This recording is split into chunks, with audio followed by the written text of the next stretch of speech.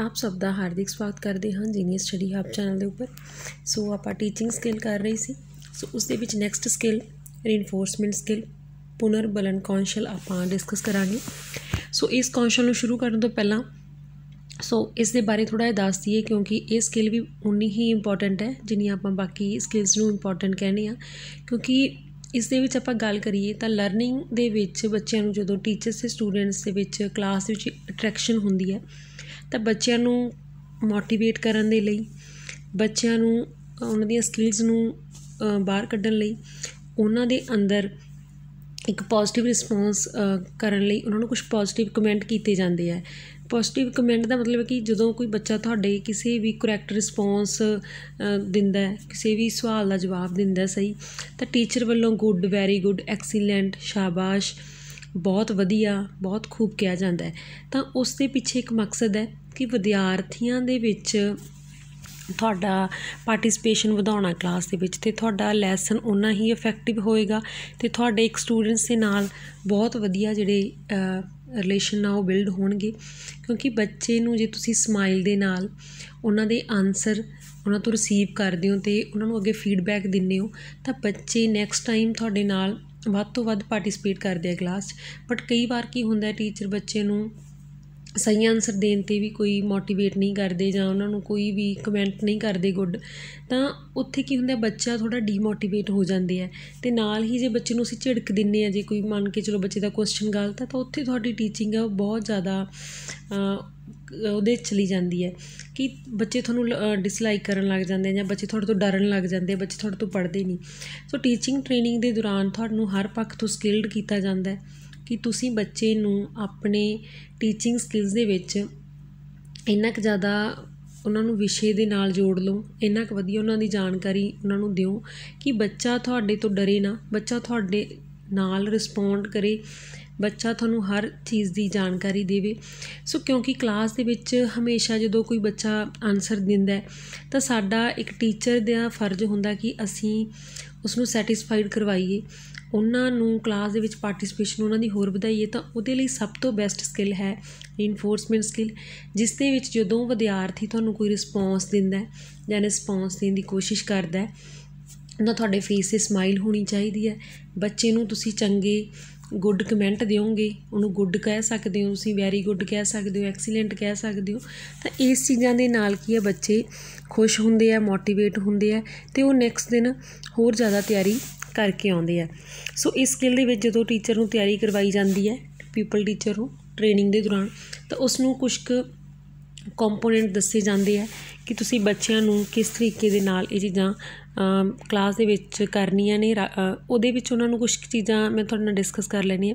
ਜਿਵੇਂ ਇਸ ਦੇ ਵਿੱਚ ਜਿਹੜੇ ਕਮੈਂਟ ਹੁੰਦੇ ਆ, ਉਹ ਤੁਹਾਡੇ ਜਿਵੇਂ ਇੰਗਲਿਸ਼ ਜਾਂ ਜਿਹੜੇ ਤੁਹਾਡੇ ਸਬਜੈਕਟ ਨੇ, ਉਸ ਦੇ ਵਿੱਚ ਤੁਸੀਂ ਗੁੱਡ ਕਹਿ ਸਕਦੇ ਹੋ ਵੈਰੀ ਗੁੱਡ ਕਹਿ ਸਕਦੇ ਹੋ ਐਕਸੀਲੈਂਟ ਕਹਿ ਸਕਦੇ ਹੋ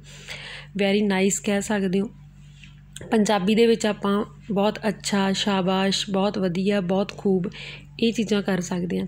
ਸੋ ਬਾਕੀ ਹੁੰਦਾ ਕਿ ਵਿਦਿਆਰਥੀਆਂ ਨੂੰ ਵਾਰ-ਵਾਰ ਤੁਸੀਂ ਇੱਕ ਕੁਐਸਚਨ ਨਾ ਪੁੱਛੋ ਤੇ ਇੱਕ ਇੱਕ ਬੱਚੇ ਤੋਂ ਹੀ ਕੁਐਸਚਨ ਹੀ ਪੁੱਛਣਾ ਚਾਹੀਦਾ। ਸਮ ਟਾਈਮ ਕੀ ਹੁੰਦਾ ਵੀ ਕਲਾਸ ਦੇ ਵਿੱਚ ਕੁਝ ਬੱਚੇ ਹੁੰਦੇ ਆ, ਸਿਰਫ ਉਹੀ ਹੱਥ ਖੜਾ ਕਰਦੇ ਆ ਤੇ ਤੁਸੀਂ ਜਾਂ ਉਹਨਾਂ ਬੱਚਿਆਂ ਤੋਂ ਹੀ ਕੁਐਸਚਨ ਪੁੱਛਦੇ ਹੋ।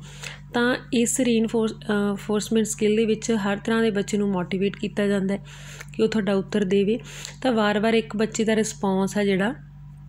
ਉਹ ਨਹੀਂ ਲਿਆ ਜਾਂਦਾ, ਤਾਂ ਇਸ ਦੇ ਵਿੱਚ ਤੁਸੀਂ ਸਾਰੇ ਬੱਚਿਆਂ ਨੂੰ ਹੀ ਕੋਸ਼ਿਸ਼ ਕਰਦੇ ਹੋ ਬਾਕੀ ਤੁਸੀਂ ਵਿਦਿਆਰਥੀਆਂ ਨੂੰ ਥੋੜਾ ਜਿਹਾ ਮੋਟੀਵੇਟ ਕਰ ਸਕਦੇ ਇਨਕਰੇਜ ਕਰ ਸਕਦੇ ਹੋ, ਉਹਨਾਂ ਨੂੰ ਆਪਾਂ ਕਹਿ ਸਕਦੇ ਹਾਂ, ਹਾਂਜੀ ਬੇਟਾ ਦੱਸੋ, ਹਾਂ ਹਾਂ, ਤੁਸੀਂ ਟਰਾਈ ਕਰੋ। ਤਾਂ ਕੁਝ ਕੁ ਤੁਹਾਡੇ ਵੀ ਫੇਸ 'ਤੇ ਐਕਸਪ੍ਰੈਸ਼ਨਸ ਆ ਜਿਹੜੇ ਬੱਚੇ ਨੂੰ ਪੋਜ਼ਿਟਿਵ ਸਾਈਨ ਦਿੰਦੇ ਆ ਤੇ ਬੱਚਾ ਆਨਸਰ ਦੇਣ ਦੀ ਕੋਸ਼ਿਸ਼ ਕਰਦਾ ਹੈ। ਸੋ ਇਸ ਤੋਂ ਬਾਅਦ ਜੇ ਆਪਾਂ ਗੱਲ ਕਰੀਏ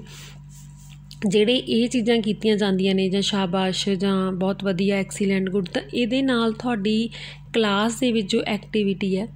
ਉਹਨੂੰ ਬਹੁਤ ਜ਼ਿਆਦਾ ਹੈਲਪ ਮਿਲਦੀ ਹੈ ਬੱਚੇ ਨੂੰ ਅੱਗੇ ਲੈ ਕੇ ਜਾਣ ਲਈ, ਬੱਚੇ ਨੂੰ ਸੋਚਣ ਦੇ ਲਈ, ਕਿਉਂਕਿ ਬੱਚੇ ਖੁਦ ਕੀ ਹੈ ਕਰੈਕਟ ਰਿਸਪੌਂਸ ਦੇ ਲਈ ਟਰਾਈ ਕਰਦੇ ਉਹਨਾਂ ਨੂੰ ਹੁੰਦਾ ਵੀ ਅੱਜ ਮੈਂ ਵਧੀਆ ਆਨਸਰ ਦਿੱਤਾ ਤੇ ਕੱਲ ਮੈਂ ਇਸ ਤੋਂ ਵੀ ਵਧੀਆ ਵੀ ਮਤਲਬ ਫੀਡਬੈਕ ਲੈਣੀ ਹੈ।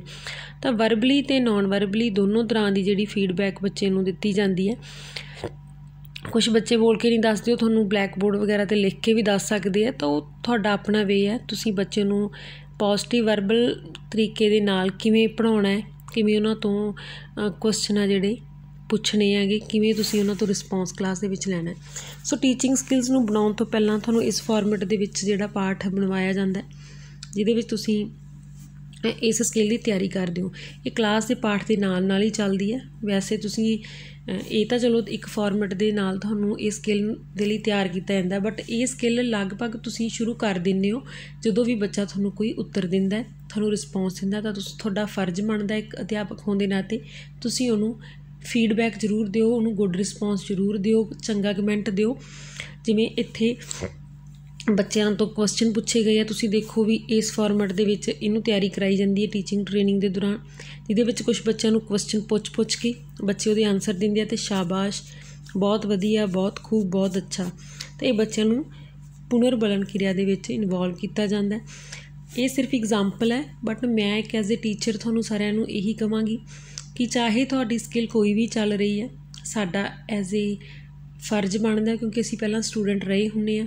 ਫਿਰ ਅਸੀਂ ਅਧਿਆਪਕ ਬਣਨਾ ਤਾਂ ਸਾਨੂੰ ਆਪ ਨੂੰ ਇਹ ਚੀਜ਼ ਪਤਾ ਹੁੰਦੀ ਹੈ। ਸਕਿੱਲ ਦੇ ਵਿੱਚ ਤਾਂ ਇਹ ਚੀਜ਼ ਅਸੀਂ ਤੁਹਾਨੂੰ ਪ੍ਰੈਕਟਿਸ ਕਰਵਾਉਣੀ ਹੀ ਕਰਵਾਉਣੀ ਹੈ ਬਟ ਸਾਨੂੰ ਇੱਕ as a student as a teacher ਇਹ ਚੀਜ਼ ਪਤਾ ਹੁੰਦੀ ਹੈ ਕਿ ਜਦੋਂ ਅਸੀਂ ਕਿਸੇ ਨੂੰ ਮੋਟੀਵੇਟ ਕਰਦੇ ਹਾਂ ਤਾਂ ਸਾਨੂੰ ਉਹਦਾ ਗੁੱਡ ਹੀ ਰਿਸਪੌਂਸ ਆਉਂਦਾ ਹੈ। ਜੇ ਅਸੀਂ ਕਿਸੇ ਨੂੰ ਡੀਮੋਟੀਵੇਟ ਕਰ ਦਿੰਦੇ ਹਾਂ, ਨਹੀਂ ਤੂੰ ਕੁਝ ਨਹੀਂ ਕਰ ਸਕਦਾ, ਤੇਰਾ ਉੱਤਰ ਗਲਤ ਸੀ, ਤਾਂ ਬੱਚੇ ਹੋਰ ਜ਼ਿਆਦਾ ਨਿਰਾਸ਼ਾਜਨਕ ਸਥਿਤੀ ਵਿੱਚ ਚਲੇ ਜਾਂਦੇ ਆ। ਸੋ ਇਸ ਸਕਿੱਲ ਕਰਵਾਉਣ ਦਾ ਜੋ ਮੇਨ ਮਕਸਦ ਹੈ ਬੱਚੇ ਨੂੰ ਮੋਟੀਵੇਟ ਕਰਨਾ।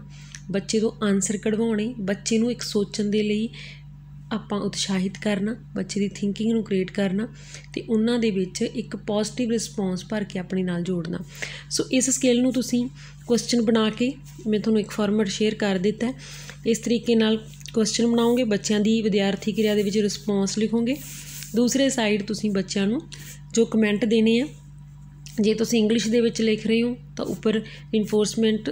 ਐਕਟੀਵਿਟੀ ਉੱਪਰ ਲਿਖੋਗੇ, ਜਿਹਦੇ ਵਿੱਚ ਤੁਸੀਂ ਸ਼ਾਬਾਸ਼ ਦੀ ਥਾਂ ਤੇ ਤੁਸੀਂ ਗੁੱਡ ਲਿਖ ਸਕਦੇ ਹੋ। ਬਹੁਤ ਵਧੀਆ ਥਾਂ ਤੇ ਵੈਰੀ ਨਾਈਸ ਬਹੁਤ ਖੂਬ ਦੀ ਥਾਂ ਤੇ ਐਕਸੀਲੈਂਟ ਬਹੁਤ ਅੱਛਾ ਵੈਰੀ ਗੁੱਡ ਤਾਂ ਇਹ ਜਿਹੜੇ ਤੁਸੀਂ ਕਮੈਂਟ ਆ ਬੱਚਿਆਂ ਨੂੰ ਦੇ ਸਕਦੇ ਹੋ। ਸੋ ਜੇ ਆਪਾਂ ਗੱਲ ਕਰੀਏ, ਤਾਂ ਇਹਦੇ ਵਿੱਚ ਜਿਹੜਾ ਟੀਚਰ ਹੈ, ਉਹ ਸਟਾਰਟਿੰਗ ਤੋਂ ਹੀ ਰਿਸਪੌਂਸ ਲੈਣਾ ਸ਼ੁਰੂ ਕਰ ਦਿੰਦਾ ਬੱਚੇ ਨੂੰ, ਜਦੋਂ ਕਲਾਸ ਦੇ ਵਿੱਚ ਉਹ ਜਾਂਦਾ ਤਾਂ ਜਾਣ ਤੋਂ ਲੈ ਕੇ ਆਉਣ ਤੱਕ ਇਹ ਜਿਹੜੀ ਐਕਟੀਵਿਟੀ ਚੱਲਦੀ ਰਹਿੰਦੀ ਹੈ, ਕਿਉਂਕਿ ਬੱਚਿਆਂ ਨਾਲ ਸਾਡੀ ਅਟਰੈਕਸ਼ਨ ਜੁੜੀ ਰਹਿੰਦੀ ਹੈ, ਤਾਂ ਸਾਨੂੰ ਇਹ ਨਹੀਂ ਵੀ ਜਦੋਂ ਅਸੀਂ ਪ੍ਰੀਸ਼ਨ ਹੀ ਪੁੱਛਣਾ ਸੀ, ਉਦੋਂ ਹੀ ਬੱਚੇ ਨੂੰ ਉਤਸ਼ਾਹਿਤ ਕਰਨਾ ਬੱਚੇ ਨੂੰ ਕਲਾਸ ਦੇ ਵਿੱਚ ਬੋਲਣ ਦੇ ਲਈ, ਬੱਚੇ ਨੂੰ ਕੋਈ ਚੀਜ਼ ਪੜ੍ਹਨ ਦੇ ਲਈ ਰੀਡਿੰਗ ਲਈ, ਹਰ ਚੀਜ਼ ਲਈ ਇੱਥੇ ਸਿਰਫ ਕੁਐਸਚਨ ਦੀ ਗੱਲ ਹੋ ਰਹੀ ਹੈ। ਇਹ ਤੁਹਾਡੀ ਇੱਕ ਪ੍ਰੈਕਟਿਸ ਦੇ ਦੌਰਾਨ ਹੁੰਦਾ ਪਰ ਐਜ਼ ਅ ਟੀਚਰ ਤੁਹਾਨੂੰ ਬੱਚੇ ਦੇ ਨਾਲ ਹਰ ਦਿਨ, ਹਰ ਟਾਈਮ ਜਦੋਂ ਵੀ ਪੜਾਉਣੇ ਹੋ, ਇੱਕ ਚੰਗੇ ਰਿਸਪੌਂਸ ਦੇ ਨਾਲ ਹੀ ਜੁੜਨਾ ਚਾਹੀਦਾ ਉਹਨਾਂ ਨੂੰ ਮੋਟੀਵੇਟ ਕਰਨਾ ਚਾਹੀਦਾ ਉਹਨਾਂ ਨੂੰ ਚੰਗੇ ਕਮੈਂਟ ਦੇਣੇ ਚਾਹੀਦੇ ਆ ਤਾਂ ਤੁਹਾਡੀ ਟੀਚਿੰਗ ਬਹੁਤ ਇਫੈਕਟਿਵ ਹੋ ਜਾਏਗੀ। ਸੋ ਮੈਨੂੰ ਪੂਰੀ ਉਮੀਦ ਹੈ, ਜੋ ਬੱਚੇ ਟ੍ਰੇਨਿੰਗ ਲੈ ਰਹੇ ਆ, ਉਹ ਇਸ ਫਾਰਮੈਟ ਦੇ ਵਿੱਚ ਆਪਣੀ ਤਿਆਰੀ ਕਰਨਗੇ, ਇਸ ਤਰ੍ਹਾਂ ਸਕਿੱਲ ਬਣਾਉਣਗੇ ਲੜੀ ਨੰਬਰ ਲਿਖਣਗੇ, ਵਿਦਿਆਰਥੀ ਅਧਿਆਪਕ ਕਿਰਿਆ ਦੇ ਵਿੱਚ ਜੋ ਵਿਦਿਆਰਥੀ ਅਧਿਆਪਕ ਕਿਰਿਆ ਕਰ ਰਿਹਾ, ਉਹ ਲਿਖਣਗੇ। ਵਿਦਿਆਰਥੀ ਕਿਰਿਆ ਤੇ ਆਪਣੀ ਰੀਇਨਫੋਰਸਮੈਂਟ ਪੁਨਰ ਬਲਨ ਕਿਰਿਆ ਦੀ ਜਿਹੜੀ ਅਭਿਆਸ ਕਰਦੇ ਹੋਏ, ਇਹ ਸ਼ਬਦਾਂ ਦੇ ਨਾਲ ਕਲਾਸ ਦੇ ਵਿੱਚ 5 ਤੋਂ 7 ਮਿੰਟ ਪ੍ਰੈਕਟਿਸ ਕਰਨਗੇ। ਉਸ ਤੋਂ ਬਾਅਦ ਹੀ ਆਪਾਂ ਨੈਕਸਟ ਸਕਿੱਲ ਬਾਰੇ ਪੜਾਂਗੇ ਸੋ ਪੂਰੀ ਉਮੀਦ ਹੈ ਤੁਹਾਨੂੰ ਇਹ ਕਾਫੀ ਇਹ ਸਕਿੱਲ ਬਾਰੇ ਸਮਝ ਆ ਗਿਆ ਹੋਣਾ। ਜੁੜੇ ਰਹੋ ਇਸ ਚੈਨਲ ਦੇ ਨਾਲ ਤੇ ਚੈਨਲ ਨੂੰ ਆਪਣੇ ਸਾਥੀਆਂ ਦੇ ਨਾਲ ਸ਼ੇਅਰ ਜ਼ਰੂਰ ਕਰ ਦਿਓ ਤੇ ਸਬਸਕ੍ਰਾਈਬ ਜ਼ਰੂਰ ਕਰ ਲਓ। ਧੰਨਵਾਦ ਜੀ।